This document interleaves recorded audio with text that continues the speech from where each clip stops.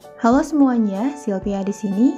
Nah, di video kali ini aku bakal membahas tentang gimana caranya mengubah emoji Android menjadi iPhone iOS 14 khusus untuk HP Oppo dan Realme update terbaru. Oke, di sini aku mau coba kasih lihat dulu ke kalian. Aku masih pakai emoji Android yang biasa ya. Dan di sini aku nyontohnya pakai HP Realme. Ini masih emoji Android. Oke, sekarang kita coba ubah aja jadi emoji iPhone. Seperti biasa, kita harus download sama install dulu aplikasi Z-Phone dari Play Store. Ke Play Store-nya, terus kalian cari aplikasi Z-Phone. Nah, kalian download sama install dulu aplikasi ini di HP kalian. Oke, langsung aja kita buka aplikasi Z-Phone-nya. Kita menuju ke emoji, pastikan kalian pilih yang iOS 14 beta ya. Ini versi yang terbaru. Jadi emojinya udah emoji yang terbaru. Nah, sebelum ada tombol set, ada tombol download, kalian tap download aja dulu. Kalau udah tap set, pilih HP kalian. Misalkan Oppo dan Realme, di tap aja, pilih support dari karakter. Tap OK, tap install. Oke, selesai. Kita keluar dari Z-Phone-nya. Langkah selanjutnya, kita masuk ke pengaturan di HP kita. Terus kita pilih bahasa dan wilayah. Pilih wilayahnya Myanmar.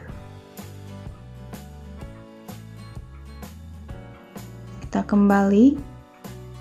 Nah, kalau misalkan jamnya jadi ngaco seperti ini, kita masuk dulu ke pengaturan tambahan, pilih tanggal dan waktu.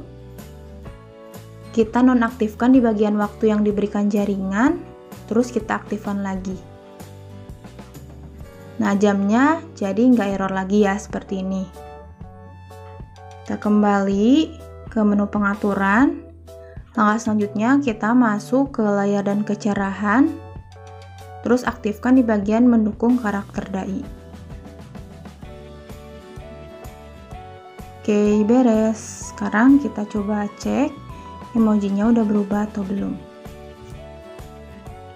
Nah, bisa teman-teman lihat emojinya udah berubah ya jadi emoji iPhone iOS 14 terbaru. Ini ada emoji-emoji terbarunya, ada emoji boba juga, dan yang lainnya. Satu lagi, pastikan kalian pakai aplikasi Google Keyboard ya teman-teman. Kalau di Realme udah ada dari bawaan HP-nya.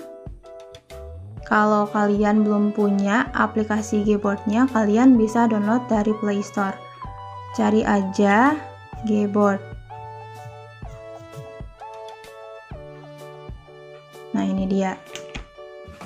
Nah, kalau misalkan kalian udah pakai aplikasi Gboard, tapi emojinya belum lengkap juga, kalian bisa lakukan hapus data aplikasi Gboardnya.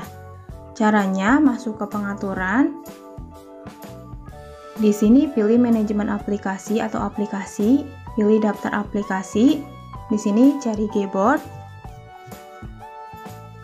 Terus pilih penggunaan penyimpanan, tap hapus data, tap OK. Emojinya dijamin jadi lengkap lagi.